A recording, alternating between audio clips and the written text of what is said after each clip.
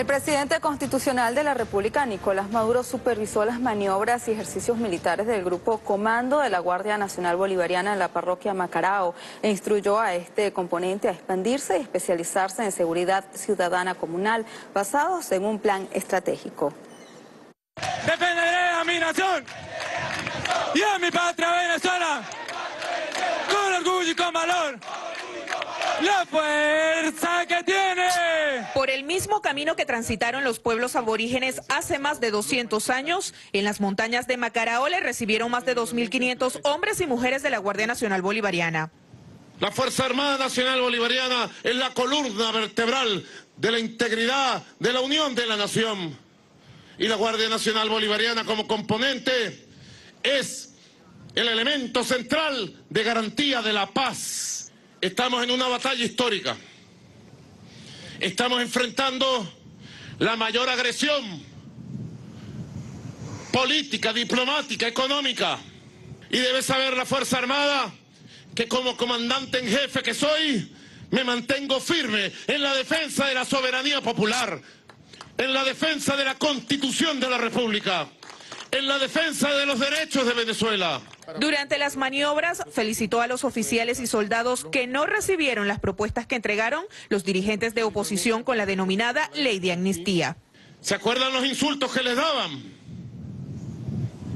Y ahora venían el domingo pasado con cara de yo no fui a entregar un papel mal hecho de que una supuesta amnistía de manera indirecta Guardia Nacional Bolivariana, Fuerza Armada Nacional Bolivariana, la derecha le estaba diciendo a la Fuerza Armada, ustedes saben que le estaban diciendo que son unos delincuentes. Te vamos a perdonar porque eres un delincuente y aquí está mi ley de amnistía. Ese era el mensaje, el metamensaje. Por eso felicito a todos los oficiales y soldados de la Fuerza Armada Nacional Bolivariana, pero en especial a la Guardia Nacional Bolivariana, que agarraron ese piazo de papel y se lo rompieron en la cara y se lo quemaron para que se fueran de las unidades militares con la verdad, con la firmeza moral de ustedes. Los felicito. Instó a acrecentar este componente por medio de la misión Cuadrantes de Paz a combatir el golpismo y la delincuencia con el propósito de garantizar la protección del pueblo venezolano.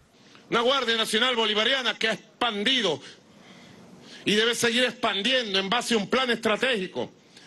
El plan de la patria 2019-2025 debe seguir expandiendo su cualidad profesional, sus capacidades operativas para estar hasta el último palmo del territorio nacional en unión con el pueblo. Se mantienen firme en la defensa de la soberanía y la paz.